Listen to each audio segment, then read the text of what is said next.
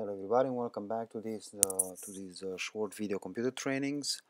Uh, today we'll have a look on how to create a, a, batch file, a script basically to uninstall and re reinstall a SCCM 2012 or 2007 client that didn't install properly.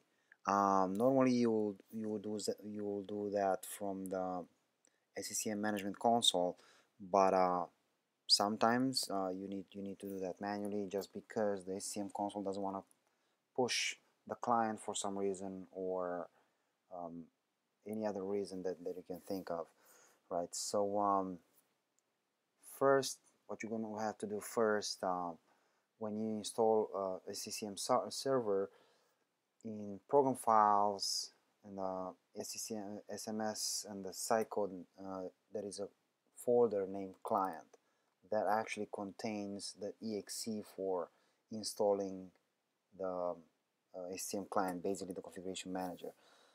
This is also the exe used by by the SCCM console, right? So this is this is the one you want to use. So you need to share that folder, and uh, then you can access it from your network by the name of the server and the, and the name of the share. For us, it's client, right? So what we're going to do, we will use that share. So let's see, it's going to be server name dot domain dot com slash client and is ccm setup setup.exe slash uninstall. This command with will um, effectively uninstall the, the SCCM client, so the configuration manager.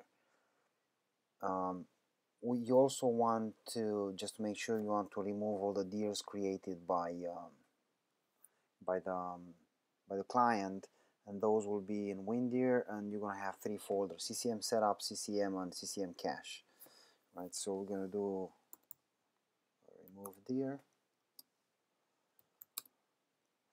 s slash q so it doesn't ask you anything.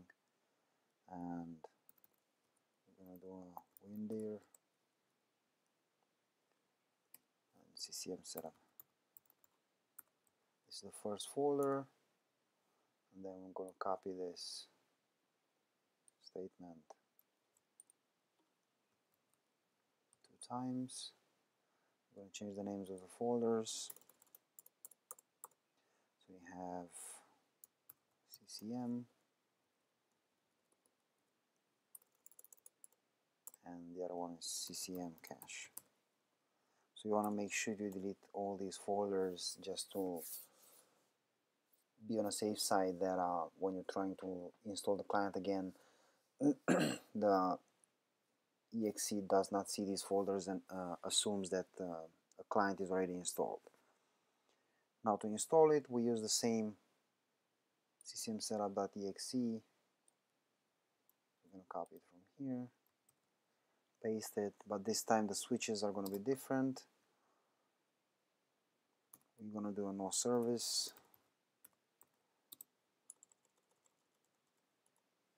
Slash no service. And you also want, you might want to specify the site code, right? So you're going to specify the site code which should be a three letter code. So let's say XXX right?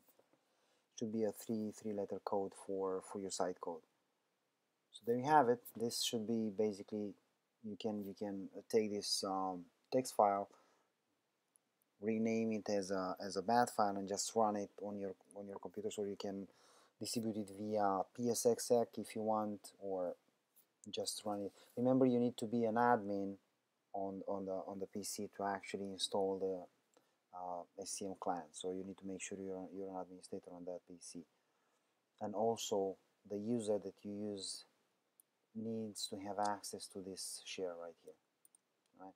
You can also insert. Let's see. Let's insert um, a pause here. You want to insert a pause in the script just to make sure that the client finishes the uninstall before you start deleting these dirs right here. So usually how you install um, how you insert a, a pause will be a ping to the loopback address. So let's see 1200 pings 127.0.0.1 and we're to do a null as well okay? And then you want to insert one over here as well just to make sure. So ping minus n 1200 127 that's 0 dot 0 dot 1 and so there you have it. I'm gonna copy this um, script in the description for the video as well so you guys can uh, change the name of the server and use it.